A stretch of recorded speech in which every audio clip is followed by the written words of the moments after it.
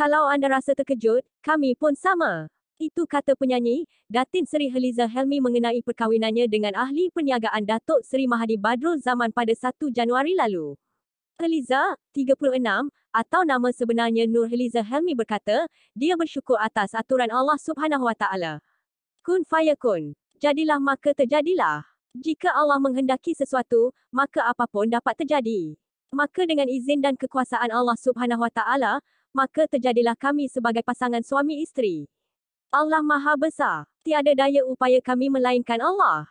Terlalu bersyukur atas segala yang Allah aturkan, katanya menerusi hantaran di Instagram.